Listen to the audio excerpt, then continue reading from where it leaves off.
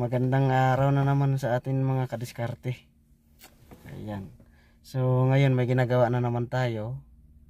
Uh, nagpapalit tayo ng uh, dashboard. So uh, ituturo natin sa inyo kung paano natin na uh, i-install and uh, remove ang dashboard. So natanggal ko na kasi ang dashboard kanina. So tuturo ko na lang sa inyo kung alin yung mga tatanggalin natin dan uh, pag nagpalit tayo ng uh, dashboard. So madali lang siya kasi dashboard na siya papalitan. Hindi naman natin tatanggalin yung lahat. So makikita niyo yung uh, tatanggalin natin dashboard uh, charger na uh, 2019 model. Ayan, V8 engine. So papakita ko na sa mga diskarte kung ano ang aking ginagawa. Ayan. So bagong lahat diyan, maraming maraming salamat sa inyo diyan sa pag-support sa ating uh, channel. Ayan. Uh, kung hindi pa kayo nakasubscribe sa ating uh, channel, paki-subscribe na lang din at paka, paki-hit ang bell button para updated kayo sa ating uh, mga bagong video na ina-upload. And follow our Facebook page, ayan, Discarding Suabe, ayan. Mapapanood nyo rin doon ang ating mga video na ina-upload sa YouTube, ayan. So, maraming salamat. Let's start. Ayan, so, ayan, nakita nyo yan? Ayan.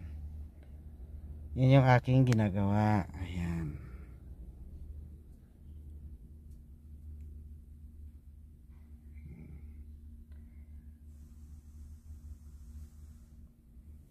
Ayan siya. So dashboard lang kasi ayan passenger airbag yan. Ayan.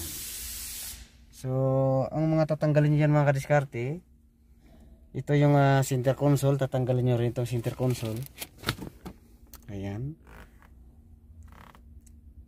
Mga lahat ng mga tornilyo dito sa center console may dalawang tornilyo dyan. At sa lahat na nakapaligid na mga mga screw sa may paligid ng dashboard. Ayan. Tatanggalin nyo rin yan. At saka dito sa gilid mapakita kasi nyo mamaya kung paano natin ikabit. Kasi kung anong pagkabit ganun yung pagtanggal doon. Ayan. Dito sa gilid nito sa dashboard mayroon din dyan dalawa. Basta lahat ng mga clips tatanggalin nyo.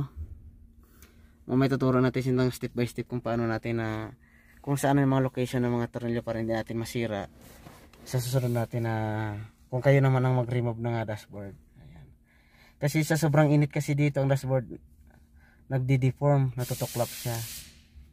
Kaya pinapapalitan. Ayan.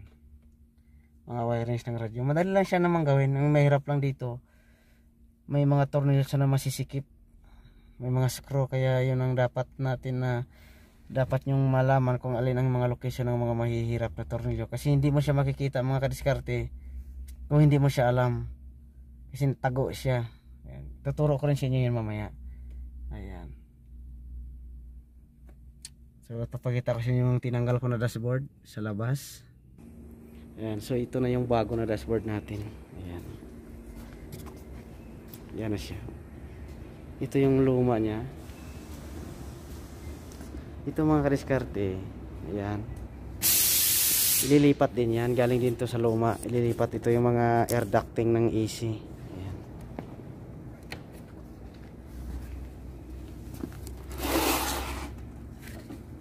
Ayan yung sira nyo. Ayan dashboard. Ayan. Yan ang madalas na sira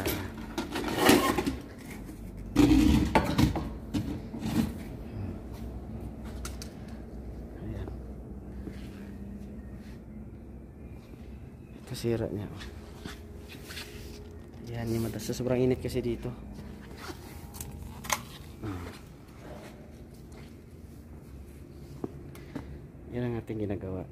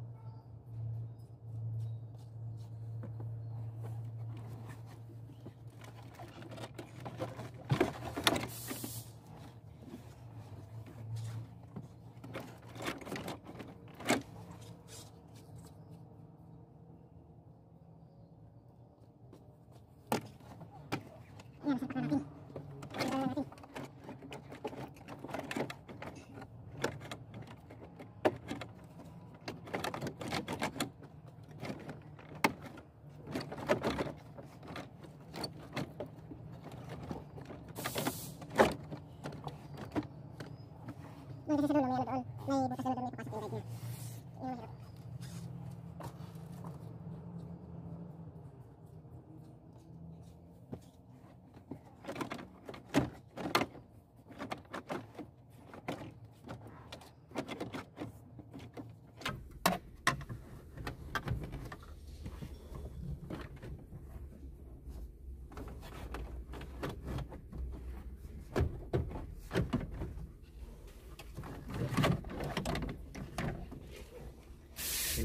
Ilagay nito. Kasi hindi mo mailagay ito mamaya pagka nakasalpak na lahat.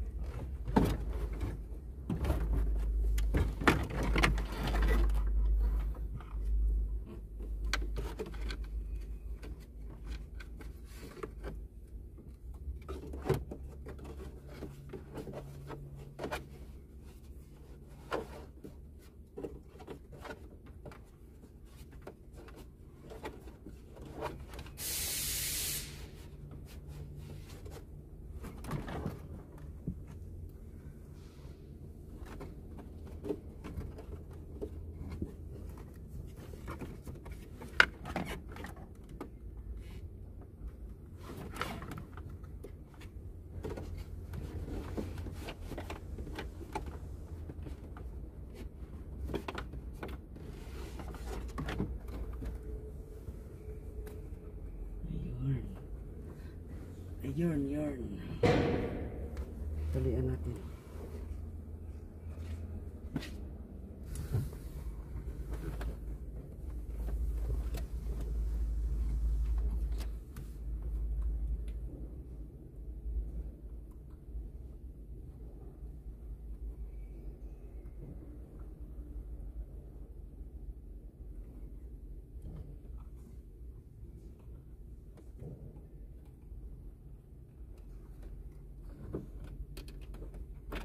Yun. Yan na siya. Siya, mahirap mamaya.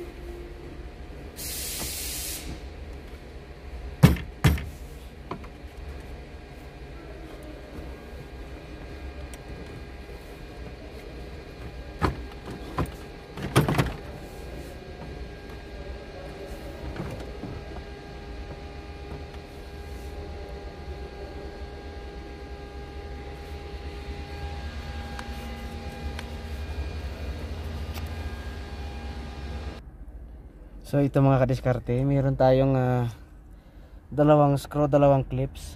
Ayan. Nakita niyo yan. Dito sa loob yan mga kadiskarte. Itong ducting na tong dalawang ducting na to, ayan, yung ducting na yan. May dalawang tornilyo sa gitna, dalawa. Ang clips na dyan din dyan, saka doon. Meron dyan sa loob. Kaya pag ah, hindi nyo matanggal yung clips na yan, at saka itong dalawa, hindi nyo matanggal ang dashboard na yan. Yun ang mga tago ng mga tornilyo na dapat yung ah, malaman pag tagtanggal kayo dyan. Pag hindi mo kabisado dyan mga kadiskarte, makasira kayo ng ah, air ducting dyan. Dito dalawa yan, sa loob. Yan. Tapos yung clips yan dun yun, sa dalawa sa loob para hindi gumalaw-galaw itong ducting. Ayan. Meron pa iba yan mamaya. Tuturo ko rin sa inyo. Ayan. Tapos meron dun sa harap ng dashboard, tatlo yun, ayun. Ayun, tornilyo na to. Ayan, tatlo yan sa gitna tsaka doon sa dulo. Yan ang mga tornilyo tatanggalin nyo. Pag naglagay kayo ng mga kadiskarte ng tornilyo sa loob na yan iangat nyo ito ng kaunti dashboard para hindi kayo mahirapan magdukot ng mga clips dyan sa katornilyo nya sa loob dito. Dito yan magkatabi dalawa dito. Sa loob ha. Yan ang clips dito yan sa loob dalawa. Nakikita nyo mga kakapa nyo yung kakapain nyo lang yung mga, mga kakapa nyo na tapos ito may dalawa. Sa likod ng radyo yan. Ayan. Doon din may screw din ito. So may cluster dalawa rin. Ayun. Ayan. Pagkatapos dito sa ilalim yan paikot yan mga kadiskarte. Ilaw natin. Ayan. Yan o ayan, mayroon yan. Paikot yan hanggang doon hanggang dito. Sa gilid yan din yan dyan. Yan yung mga tornilyo ayan. Tapos dito naman dito lang naman yan mamaya. Tuturo ko sa inyo mamaya. Ayan, dito. Ganun din yan sa kabilang side. Basta lahat na nakapaligid ng mga tornilyo dito sa dashboard tatanggalin nyo. Ayan.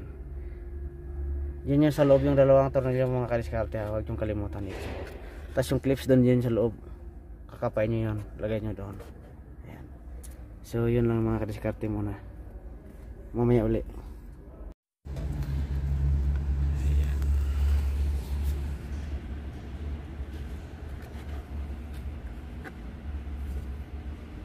makita.